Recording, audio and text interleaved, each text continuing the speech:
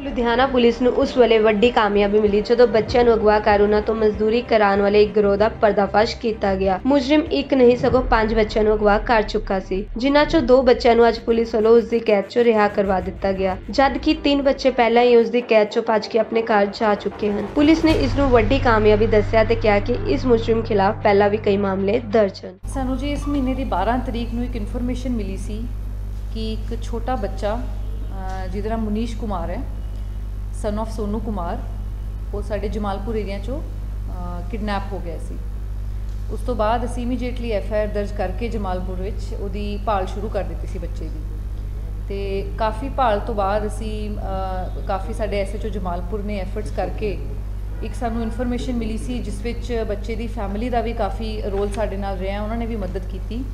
ਤੇ ਸਾਨੂੰ ਇਨਫੋਰਮੇਸ਼ਨ ਮਿਲੀ ਸੀ ਕਿ ਇਹ ਬੱਚ- ਇਹ ਬੰਦਾ ਜਿਹੜਾ ਹੈ, ਕ੍ਰਿਸ਼ਨਾ ਜਿਹੜਾ ਸੀ ਗ੍ਰਿਫਤਾਰ ਕੀਤਾ, ਇਹਦੇ ਕੋਲ ਉਹ ਬੱਚਾ ਮੌਜੂਦ ਸਾਨੂੰ ਮਿਲਿਆ। ਤੇ ਅਸੀਂ ਇਹ ਬੱਚੇ ਨੂੰ ਮਨੀਸ਼ ਕੁਮਾਰ ਨੂੰ ਰਿਕਵਰ ਕੀਤਾ।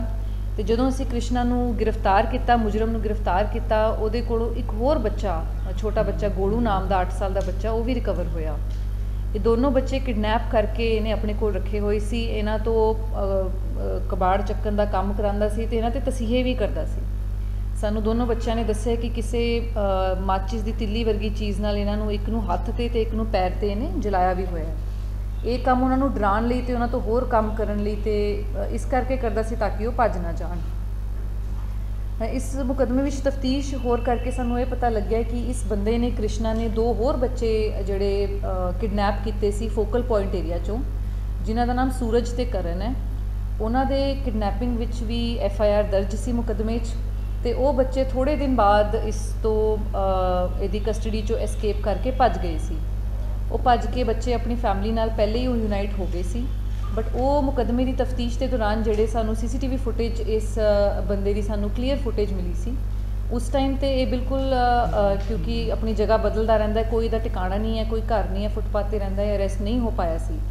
ਪਰ ਇਹਨੂੰ ਅੱਜ ਫੜਨ ਨਾਲ ਸਾਡੇ ਪੰਜ ਬੱਚਿਆਂ ਦੇ ਕਿਡਨੈਪਿੰਗ ਕੇਸ ਜਿਹੜੇ ਹੈ, ਉਹ ਟਰੇਸ ਹੁੰਦੇ ਹੈ। ਦੋ ਬੱਚੇ ਅਸੀਂ ਅੱਜ ਰਿਕਵਰ ਕੀਤੇ ਹੈ ਤੇ ਤਿੰਨ ਬੱਚੇ ਪਹਿਲੇ ਹੀ ਆਪਣੇ ਪੇਰੈਂਟਸ ਕੋਲ ਜਾ ਚੁੱਕੇ ਹੈ।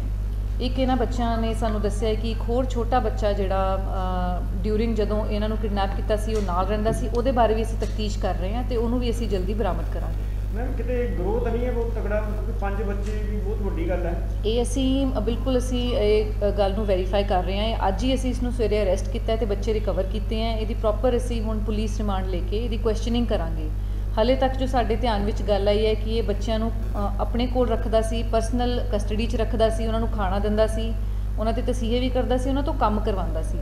ਹਲੇ ਤੱਕ ਕੋਈ ਟ੍ਰੈਫਿਕਿੰਗ ਵਾਲੀ ਗੱਲ ਸਾਡੇ ਸਾਹਮਣੇ ਨਹੀਂ ਹੈ ਬਟ ਇਹ ਜਿੱਥੇ ਸਬਜੈਕਟ ਟੂ ਇਨਵੈਸਟੀਗੇਸ਼ਨ ਕੋਈ ਨਾ ਕੋਈ ਗੱਲ ਜੇ ਸਾਹਮਣੇ ਆਂਦੀ ਹੈ ਤਾਂ ਅਸੀਂ ਉਹਦੀ ਪ੍ਰੋਪਰ ਇਨਵੈਸਟੀਗੇਸ਼ਨ ਕਰਾਂਗੇ। ਲੁਧਿਆਣਾ ਤੋਂ ਜਤਿੰਦਰਪਾਲ ਸਿੰਘ ਕਲੇਰ ਦੀ ਰਿਪੋਰਟ ਲਾਈਵ ਭਾਰਤ। ਸਤਿ ਸ਼੍ਰੀ ਅਕਾਲ ਜੀ ਸਾਰਿਆਂ ਨੂੰ ਮੈਂ ਹਾਂ JP Singh Cambridge International Academy ਤੋਂ। ਕੋਵਿਡ-19 ਦੀ ਮਹਾਮਾਰੀ ਤੋਂ ਬਾਅਦ UK USA Canada Australia student visa ਦੇ ਨਿਯਮਾਂ ਵਿੱਚ ਆਇਆ ਹੈ ਵੱਡਾ ਬਦਲਾਅ। ਜੇਕਰ ਤੁਸੀਂ ਵੀ ਇਹਨਾਂ ਕੰਟਰੀਆਂ ਦੇ ਵਿੱਚ ਸਟੱਡੀ ਵੀਜ਼ਾ ਅਪਲਾਈ ਕਰਨ ਬਾਰੇ ਸੋਚ ਰਹੇ ਹੋ, ਤਾਂ ਕੈਂਬਰਿਜ ਇੰਟਰਨੈਸ਼ਨਲ ਅਕੈਡਮੀ ਦੀ ਐਕਸਪਰਟ ਟੀਮ ਤੋਂ ਸਲਾਹ ਲੈਣਾ ਨਾ ਭੁੱਲਣਾ, ਕਿਉਂਕਿ ਕੈਂਬਰਿਜ ਇੰਟਰਨੈਸ਼ਨਲ ਅਕੈਡਮੀ ਕੋਲ ਹੈ ਪਿਛਲੇ 13 ਸਾਲ ਦਾ ਵੱਡਾ ਤਜਰਬਾ, ਜਿਨ੍ਹਾਂ ਦੀ ਮਦਦ ਦੇ ਨਾਲ ਹਜ਼ਾਰਾਂ ਹੀ ਪੰਜਾਬ ਦੇ ਨੌਜਵਾਨ ਵਿਦੇਸ਼ ਦੇ ਵਿੱਚ ਆਪਣਾ ਚੰਗਾ ਭਵਿੱਖ ਬਣਾ ਚੁੱਕੇ ਨੇ।